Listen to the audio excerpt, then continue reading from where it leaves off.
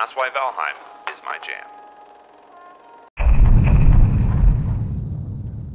Gotta get back on the boat. Uh, I don't know what I'm doing. Let me just get my body. Fuck! Let me escape. Let me escape. Damn it! I'm fine. I'm I'm fine.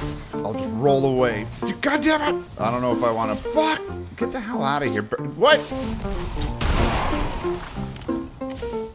I hate this game. Welcome to the Ashlands, a place of suffering and misery. This update is great in almost every way, but holy shit, the amount of baddies you encounter is going to give me an anxiety disorder. Sailing through the hazardous boiling ocean is tense and exciting. Then the moment you land on the fiery isle, you'll feel as if you just beached Normandy in 1944. I recommend having some kind of base as close to the ashlands as possible without actually being in the biome, because sailing all the way to the bottom of the map just to get absolutely destroyed is a pretty traumatic experience. First off, the level design is awesome. It's basically everything I hoped for in this update. Creepy, intimidating, and full of red hot tomato soup. It's nice to find those little jars in the castle ruins that yield metal like iron so you can easily build the new teleporter that allows you to transport anything through it. Just guard that teleporter with your life.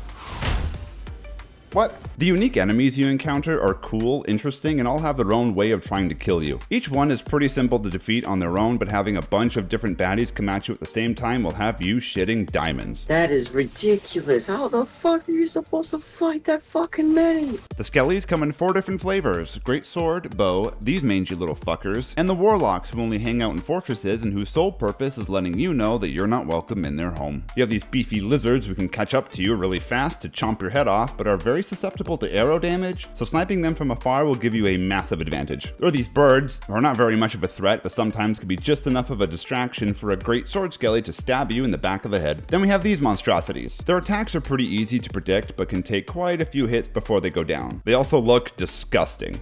In a good way. Oh my god, what the fuck is that? There's also fire blobs. Blob.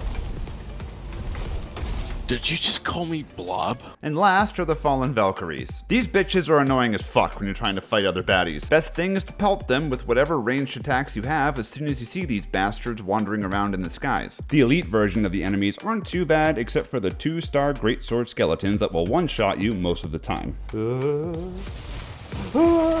If you want the special Ashlands Flaming Sword, you'll be dealing with a lot of elite skellies. They have their own spawner that only spawns elites next to the sword parts and it's not very easy. The new heavy armor looks fucking badass. The rest are okay. Recently I grew fond of the Ask armor because of the buffs it gives, but I was told I look like a slug and now I can't unsee it. One of my favorite additions is the new structures. The wood flooring, decorative panels, new stone. It really goes well with the older structures and allow for some pretty cool building designs. The new siege weapons are also fun, although it's embarrassing how long it took us to figure out how they work. The new weapons are dope, I love the designs of the massive two-handed sword, but was kind of disappointed with the damage. Maybe it's just me, but it felt pointless when the one-handed sword feels like it does just as much DPS as the two-hander. The enchanted weapons are a very nice addition, but I think the only one that's really useful is the poisoned one. And in the Ashlands, it comes in handy big time. I recently started using the double poison axes and having a lot of fun with them. Now let's talk about the drawbacks. The stuttering gets really annoying, especially when you're jumping across a lake of lava and the game stutters right when you're mid-jump to the next platform. The music also stutters, which had me turning off the music because it got pretty annoying after a while.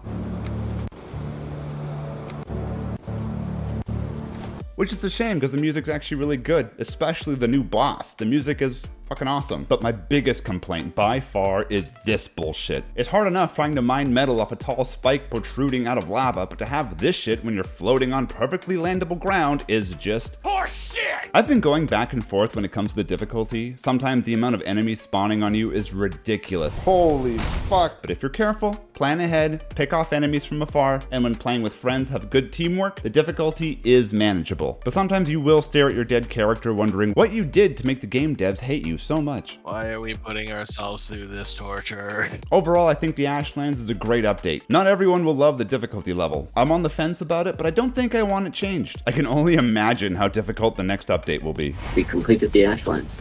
We have conquered it. Just never play this game again. You can't hit me, you suck. I'll try again.